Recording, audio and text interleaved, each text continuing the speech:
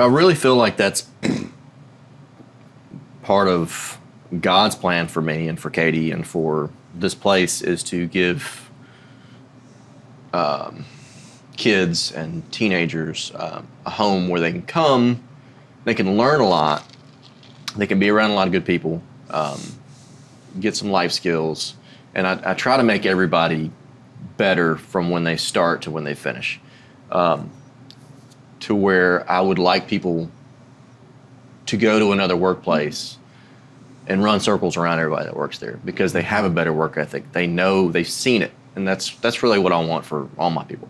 And uh, so we try to make it an environment where people can be comfortable, uh, they can laugh, but they know that they're expected to work.